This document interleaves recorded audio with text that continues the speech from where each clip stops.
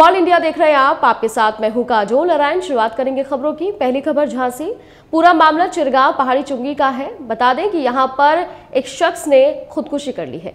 संदिग्ध परिस्थितियों में शम मिला है। खुदकुशी है या हत्या, इस बात की जाँच की जा रही है। बताया जा रहा है कि पत्नी घरेलू विवाद के चलते अपने मायके बच्चों के साथ गई हुई थी, लेकिन पत्नी का मायका पास में ही था। इसी वजह से वो जानवरों की देखभाल दूध निकालने के लिए रोज घर आया जाया करती थी। लेकिन जब वो सुबह पहुँची तो पति पत्नी की बात नहीं हुई, फ़ोन स्विच ऑफ़ जा रहा था, तभी रोज की तरह शाम को वो घर आई और अपने पति को मृत अवस्था में देखकर दंग रह गई। सारे मोहल्ले वासी इकट्ठे हुए, पुलिस को सूचना दी, पुलिस मौके पर पहुँची है। इस पूरे मामले की छानबीन की जा रही है। मौत का कारण अभी तक स्पष्ट नहीं हो पाया है। मौरानीपुर के ग्राम पचवारा निवासी डेढ़ दर्जन युवकों ने रेलवे लाइन पर S K S infra company के द्वारा सिक्योरिटी के पद पर रखा था। टेहराका से मौरानीपुर लाइन पर काम जबकि मजदूरी तीन महीने से नहीं मिली है। ठेकेदार पता नहीं कहाँ गुम हो गया है, फ़ोन पर बात नहीं हो रही है। ठेकेदार के द्वारा निवाड़ी में तैनात प्रशासनिक कर्मचारी के पास भेजा गया, वो तनख्वाह नहीं दे रहा। लगभग 20 लड़कों की प्रति महीने की तनख्वाह नौ हज़ार रुपए के हिसाब से है। किसी भी सिक्योरिटी गार्ड के पास पैसा नहीं पहुँचा है, जिसकी लगातार बात उठ रही है। ये पांडे सर हैं एमडी जे हमारे ठेकेदार बी के यादव है। वो तो उसको आप उसने चोरी का इल्ज़ाम लगा के उसको भगा दिया। और जो पेमेंट करते हैं ये पांडे सर। तो पांडे सर ने अब उसको ये लटकाए हैं कि वो उसको बुलाओ और वो आ नहीं रहा डरन के मारे। और तुम ना इसमें उनकी इच्छा भी नहीं है कि हम हम लोगों का पेमेंट कर दे। तो इस, उसने बोल दिया कि जब उसको ले आओ तब पेमेंट होगा। हम लोग कहाँ जाए? किस कंपनी में काम कर रहे थे आप? जी रेलवे कितने समय से आप लोग काम कर रहे हैं? मार्च के महीने से लगे हैं। मार्च के महीने से। कितने समय से आप लोगों की वेतन नहीं मार्च अप्रैल मई। झांसी में गर्मी का तांडव बरकरार है। मंगलवार को सैंतालीस दशमलव दो डिग्री सेल्सियस तापमान के साथ झांसी प्रदेश का सबसे गर्म शहर बन गया। ये 2020 के बाद मई में पहली बार है जब तापमान सैंतालीस डिग्री को पार कर गया है। मौसम विभाग ने लू को लेकर रेड अलर्ट जारी किया है। मौसम विभाग ने अगले चार दिनों तक तीव्र गर्मी का अनुमान लगाया।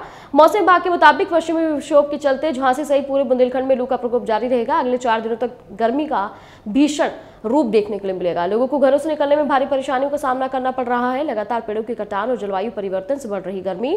क्षेत्रीय मौसम विज्ञान केंद्र के अनुसार लगातार वन कटान और जलवायु परिवर्तन की वजह से तापमान इतना ज़्यादा बढ़ रहा है।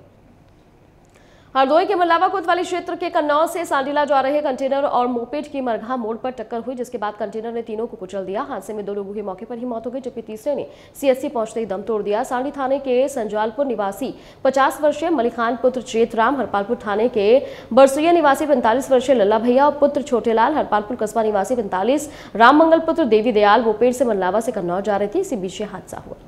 ये मामला थाना मल्लावा अंतर्गत मगरहा तिराहा का है। जहाँ पर एक ट्रक जो कि कन्नौज से संडीला जा रहा था, तथा तीन लोग मोटरसाइकिल सवार जो मगरहा गाँव से निकल रहे थे। ये मुग- मगरहा तिराहा के पास पहुँचे, वहीं पर ट्रक की इनकी बीच टक्कर हो गई, जिससे मौके पर ही मोटरसाइकिल सवार तीनों व्यक्तियों की मृत्यु हो गई। इसमें स्थानीय पुलिस तत्काल मौके पर पहुँची और इसमें सौ कब्जे में लेकर पंचायत में पोस्टमार्टम की कार्रवाई कराई जा रही है। इसमें ट्रक को पकड़ लिया गया है और इसमें पुलिस द्वारा विधिक कार्रवाई की जा अराजक तत्वों ने चुनावी माहौल बिगाड़ने की कोशिश की है। ब्राह्मण क्षत्रिय बनियों को गाली देने का आरोप लगा। गालीबाज अराजक तत्व का सोशल मीडिया पर वीडियो तेज़ी के साथ वायरल हो रहा है।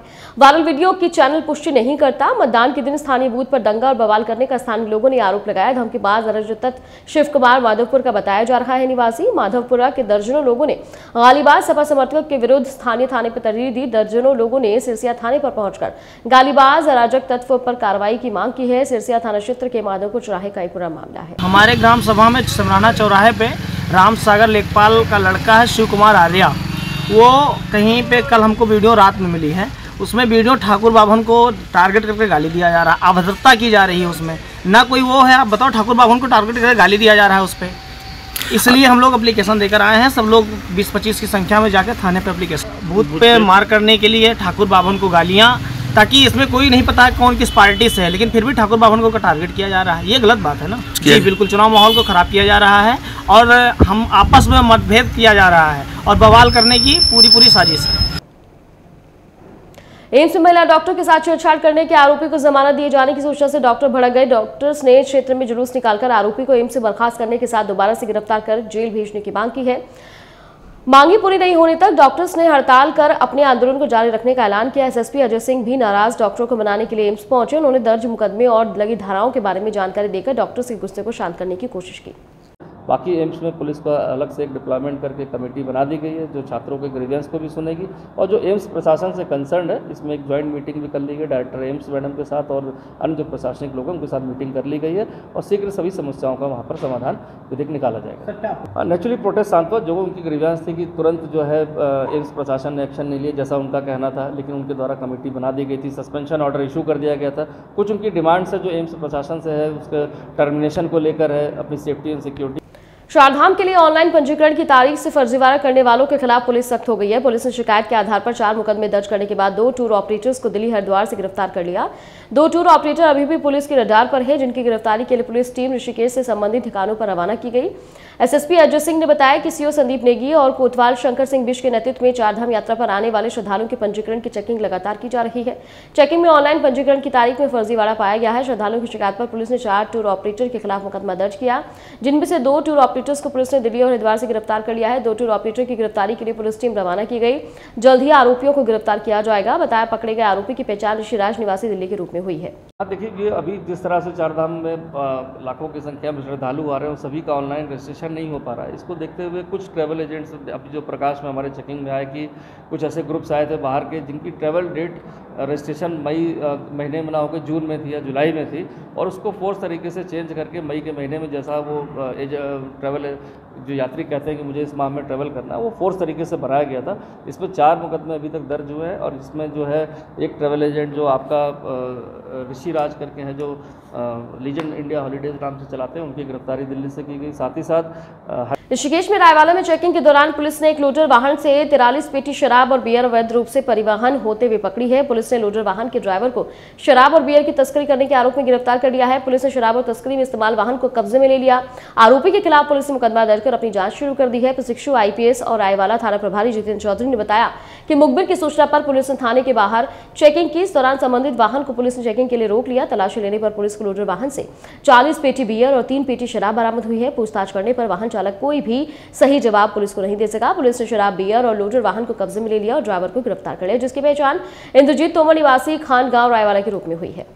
मौसम विभाग ने चारधाम यात्रा के मार्ग के पर्वतीय जिलों में शुक्रवार के लिए बारिश का येलो अलर्ट जारी किया। मौसम विज्ञान केंद्र देहरादून के निदेशक डॉक्टर विक्रम सिंह ने बारिश का येलो अलर्ट जारी करते हुए चारधाम यात्रा में आ रहे लोगों से विशेषकर सतर्कता बरतने की अपील की। विक्रम सिंह ने कहा, शुक्रवार को कुछ जगहों पर ओलावृष्टि के साथ ही तेज बौछारें पड़ सकती है। इसे गोदेरों में अचानक पानी बढ़ सकता है, इसमें सतर्कता बरतने की ज़रूरत है। उन्होंने लोगों को सतर्क करते हुए कहा कि चारधाम यात्रा पर जा रहे हैं तो बारिश या ओलावृष्टि के समय सुरक्षित स्थान पर रुक जाए। केदारनाथ धाम में एक बार फिर पायलट की सूझबूझ से बड़ा हादसा होने से बच गया। केदारनाथ धाम के लिए उड़ान भर रहे क्रिस्टल एविएशन हेलीकॉप्टर की शुरुआत सुबह सात बजकर आपात लैंडिंग करनी पड़ी। सिरसी से केदारनाथ धाम के लिए उड़ान भर चुके हेलीकॉप्टर की आपात लैंडिंग की वजह से छह लोगों की जान बच गई। केदारनाथ धाम के लिए उड़ान भर रहे हेलीकॉप्टर में कुछ तकनीकी खराबी आने के कारण लैंडिंग करनी पड़ी। रुद्रप्रयाग के जिला आपदा प्रबंधन अधिकारी एन एस राजभर ने बताया कि हेलीकॉप्टर सुबह सात बजकर पाँच मिनट पर सिरसी से केदारनाथ की ओर जा रहा था। केदारनाथ हेलीपैड से सौ मीटर पहले तकनीकी खराबी होने की वजह से इमरजेंसी लैंडिंग करनी पड़ी। हेलीकॉप्टर पायलट सहित छह यात्रियों को लेकर सिरसी हेलीपैड से श्री केदारनाथ धाम की ओर जा रहा था कि अचानक कैस्ट्रेल एविएशन हेलीकॉप्टर में कुछ तकनीकी खराबी आ गई। तकनीकी समस्या की वजह से सात बजे ये लैंडिंग करनी पड़ी। पायलट कल्पेश के अनुसार सभी यात्री सुरक्षित। जैसे कि अभी हमें जिला प्रबंधन अधिकारी द्वारा मॉर्निंग अवगत कराया गया, आज कैस्ट्रल एविएशन का एक हेली सुबह सात बजे के आसपास स्टेशन से निकला, जो कि केदारनाथ लैंड करना था। बट जो पेनी रिपोर्ट्स आई हैं उसके अनुसार उसके रियर मोटार में कुछ टेक्निकल स्नैग आ गया और उस टेक्निकल स्नैग के कारण जो पायलट ने सूझबूझ करते हुए केदारनाथ हेलीपैड से थोड़ा ही पहले उसको लैंड करा दिया। उक्त में जितने भी पैसेंजर्स थे, वो सभी सेफ़ हैं और सभी दर्शन के लिए चले भी गए हैं। रायबरेली जगतपुर कस्बे के मनोहरगंज गाँव में हिरन के बच्चे को कुत्ते दौड़ा दौड़ाकर काट रहे थे। ग्रामीणों ने बचाया, हिरन का बच्चा घायल हो गया। ग्रामीणों ने जब इसकी सूचना वन दारोगा प्रदीप सिंह को दी तो उन्होंने कहा कि घायल हिरन को वहीं छोड़ दीजिए, हम नहीं आ पाएँगे। जिसके बाद नाराज़ ग्रामीणों ने उच्च अधिकारियों से वन दारोगा प्रदीप सिंह की शिकायत की। रायबरेली में संदिग्ध परिस्थितियों में ट्रेन से कटकर युवक की मौके पर ही दर्दनाक मौत हो गई। युवक की मौत से परिवार में कोहराम मच गया। सूचना पर पहुँची पुलिस जाँच में जुटी है। मामला डरमऊ कोतवाली क्षेत्र के अंतर्गत बलीपुर गाँव स्थित रेलवे लाइन का है, जहाँ संदिग्ध परिस्थितियों में ट्रेन की चपेट में आने से रोशन पुत्र रामसेव उम्र पच्चीस साल, निवासी बबुरिया की मौके पर ही दर्दनाक मौत हो गई। युवक की मौत से परिजनों में कोहराम मचा हुआ है। स्थानीय लोगों की सूचना पर पहुँची पुलिस ने शव को कब्जे में लेकर पोस्टमार्टम के लिए भेज दिया है और आगे की कार्रवाई शुरू करती है। हाईवे किनारे पलटे ट्रक को निकालते समय ट्रक में आग लग गई। लोगों ने अफरा तफरी देखी गई। अग्निशमन टीम मौके पर पहुँची, आग पर काबू पाया। भीषण आग के चलते अग्निशमन टीम का पानी भी खत्म हो गया। रिफिल के लिए पास में बने होटल वृंदावन से मदद ली। राष्ट्रीय राजमार्ग में दोनों तरफ़ लगी वाहनों की लंबी कतारें। मामला सुमेरपुर कस्बे का बताया जा रहा है। दिल्ली लोकसभा चुनाव को महज एक दिन का वक्त रह गया है और दूसरी तरफ़ भीषण गर्मी पड़ रही है। ऐसे मतदान केंद्र पर मतदाताओं के लिए चुनाव आयोग की तरफ़ से विशेष इंतज़ाम के दिशा निर्देश दिए गए। वेस्ट ज़िले के डीएम डॉक्टर किन्नी सिंह ने चुनाव की तैयारी पर बोलते हुए कहा कि चुनाव में लोगों को धूप से बचने के लिए अनेक इंतज़ाम के साथ साथ वोटिंग सेंटर पर कूलर भी लगाए गए हैं और इसके अलावा पानी का इंतज़ाम भी किया गया। ताकि किसी मतदाताओं को किसी तरह की कोई परेशानी ना हो, उन्होंने पूरी जानकारी देते हुए पूरे आंकड़े बताए कि इस पश्चिमी दिल्ली लोकसभा सीट पर कुल मतदाताओं की संख्या कितनी है उसमें महिलाएँ वोटों की संख्या कितनी है, इसके साथ ही युवा वोटरों की संख्या के बारे में बताया। साथ ही नए वोटर जो इस बार जुड़ रहे हैं उनके आंकड़े भी दिए गए। उन्होंने बताया कि कुल पोलिंग स्टेशन की संख्या वेस्ट ज़िले में दो है जिसमें से तीन संवेदनशील अति संवेदनशील की कैटेगरी में आते हैं।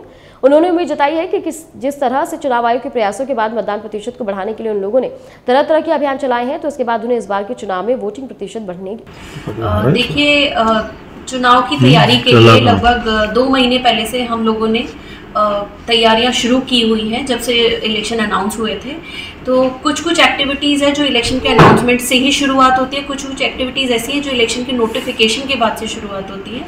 तो लगातार ये सारी गतिविधियाँ चल रही हैं और 25 मई को वोटिंग डे है। उसके लिए काफ़ी तैयारियाँ हो चुकी हैं। हीट वेव को ध्यान में रखते हुए भारतीय चुनाव आयोग ने बहुत सारे निर्देश निकाले गए हैं, निकाले हुए हैं। तो उन सभी निर्देशों का पालन किया जा रहा है। उम्मीद है। सुल्तानपुर के दिबूपुर ब्लॉक के बनकीपुर स्थित प्राथमिक विद्यालय में अनवरी बेगम शिक्षक के पद पर तैनात हैं। पिछले सत्रह साल से शिक्षक का कार्य करती हैं। पिछले कई बार विकलांगता के चलते इन्हें इलेक्शन ड्यूटी से दूर रखा गया, लेकिन इस बार आलाधिकारियों ने अनवरी की मतदाता में मतदान में ड्यूटी लगाई है। परेशान अनवरी लगातार आला अधिकारियों के चक्कर लगाती रही, लेकिन लापरवाह अधिकारियों का दिल नहीं पसीजा। बिचारी अनवरी बेगम अपनी ड्यूटी के लिए मंडी समिति पहुँचे। मतदान सामग्री लेकर पोलिंग पार्टियों के साथ मतदान केंद्र के लिए रवाना हो रही है। और मैं पैर से दिव्यांग हूँ, सर। सत्रह साल को ड्यूटी करते हो गई कभी मेरी ड्यूटी नहीं लगी है। अब की बार मेरी ड्यूटी लगा दी गई है और मैं पैर से दिव्यांग इतना हूँ, चलती हूँ तो मेरा पैर सू जाता है।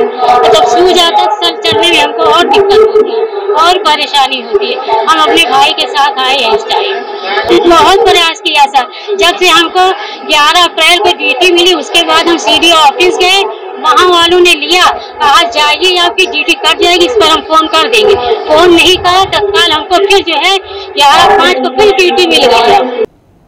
बदायूं के अलग अलग थाना क्षेत्रों में ई रिक्शा को बुक कराकर रास्ते में चालक को कोल्ड ड्रिंक में नशीला पदार्थ देकर उन्हें बेहोश करके ई रिक्शा मोबाइल, पैसे चोरी, लूट कर ले जाने वाली कई घटनाएँ सामने आ रही थी, जिसमें कुछ चालक काफ़ी समय तक बेहोशी की अवस्था में रहे। इन घटनाओं की गंभीरता के दृष्टिगत वरिष्ठ पुलिस अधीक्षक द्वारा घटनाओं के अनावरण के लिए जनपद की एसओजी टीम के साथ साथ थानों की कई पुलिस टीमों का गठन कर आवश्यक दिशा निर्देश दिए गए हैं।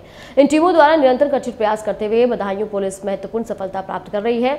आठ रिक्शा बरामद किए गए हैं, तीन शातिर अपराधी गिरफ़्तार किए गए हैं। कि ई रिक्शा चालकों को टारगेट करके उनके ई रिक्शा को चोरी किया जा रहा है, उनको नशीली दवा खिला पिला करके।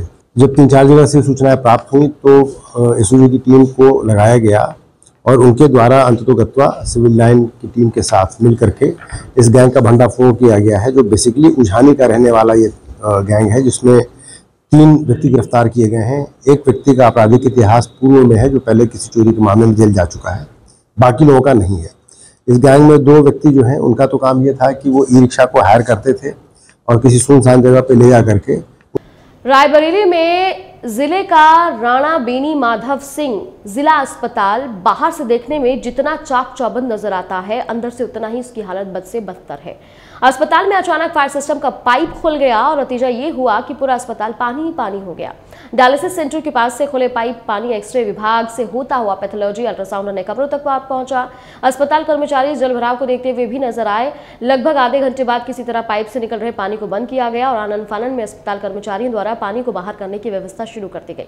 लेकिन इस तरह क्या अस्पताल में सुविधा मरीजों को दी जा रही है, जहाँ पता ही नहीं चलता कि कब ऑक्सीजन सिलेंडर बंद हो जाए, कब पानी का पाइप खुल जाए। इससे तो यही पता चलता है कि अस्पताल में अगर आप इलाज कराने आ रहे हैं तो अपनी जान की सुरक्षा भी साथ में करते जाइए, क्योंकि कभी भी अस्पताल का कोई भी भाग आपको मुसीबत में डाल सकता है। और इसी के साथ फ़िलहाल खबरों में इतना ही। आप बने रहिए न्यूज़ वन इंडिया के साथ।